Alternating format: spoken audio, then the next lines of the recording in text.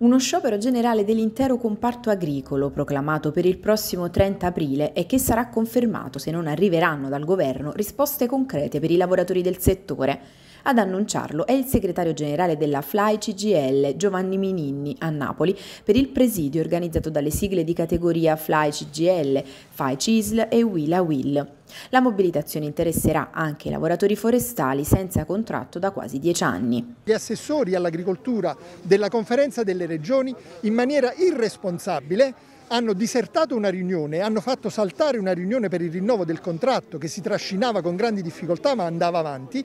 e hanno comunicato che non sono più interessati farlo, ad andare avanti. Ecco, noi siamo stufi e da questo punto di vista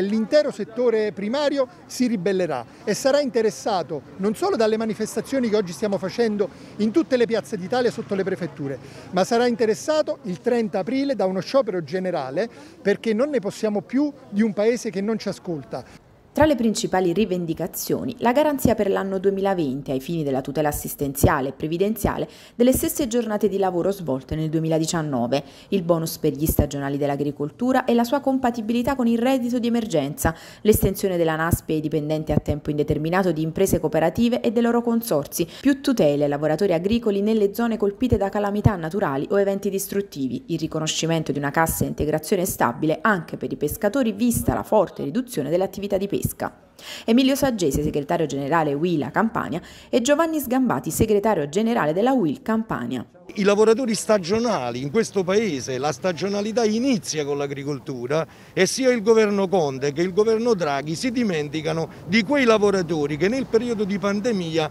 hanno lavorato senza sistemi di protezione almeno all'inizio e che hanno portato e hanno garantito un reddito a questo paese e le tavole dei cittadini italiani. Siamo sotto le prefetture d'Italia, compresa questa di Napoli, per rivendicare una modifica del decreto sostegni, perché il mondo agricolo, il mondo della pesca, il B&B sono stati esclusi e noi immaginiamo che non sia possibile lasciare indietro dei lavoratori che sono stati fondamentali anche durante la pandemia per dare un contributo importante al sistema paese.